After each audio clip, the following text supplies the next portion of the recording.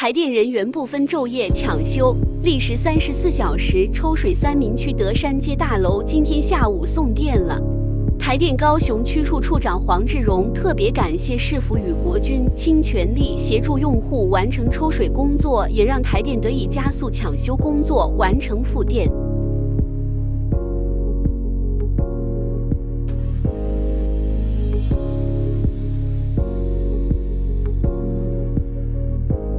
今天上午，高雄市长陈其迈、立委李坤泽、议长康裕成及经发局长廖泰祥等接至现场了解抢修进度与用户心声。处长黄志荣表示，本处这次除了积极彻底检测该栋大楼开关保护设备及变压器，也提醒用户务必寻求电器承装业将泡水的自有开关箱进行烘前擦拭，才能确保用电安全。